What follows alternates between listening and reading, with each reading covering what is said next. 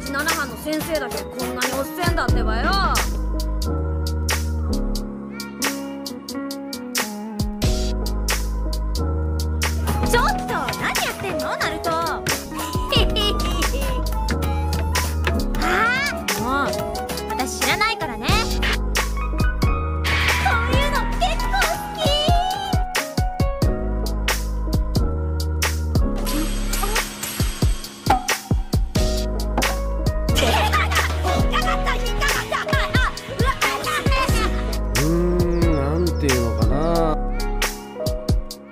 の第一印象は嫌いだ。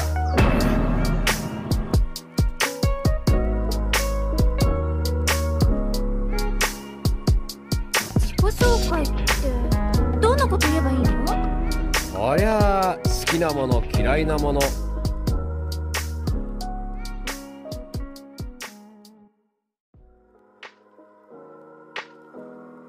きなものはカップラーメンもっと好きなものはイルカ先生におごってもらった一楽のラーメン。そんで将来の夢は木陰を越す。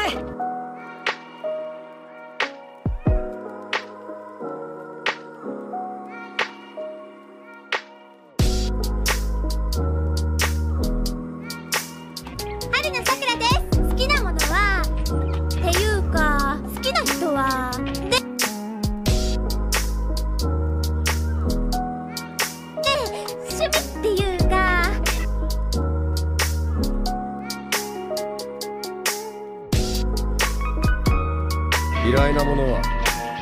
ナルトです。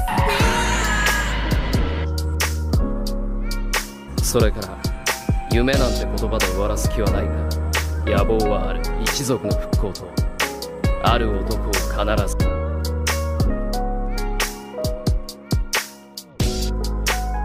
殺すことだ。まさか俺のことじゃねえだろうな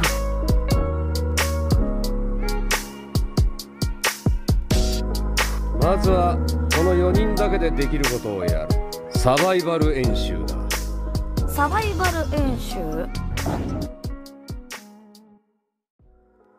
卒業生27名中下人として認められる者はたったの9名。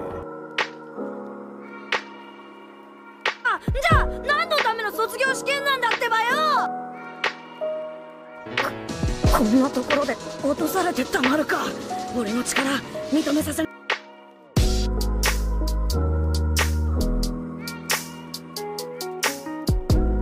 じゃあま解散。朝飯は抜いてこい。吐くぞ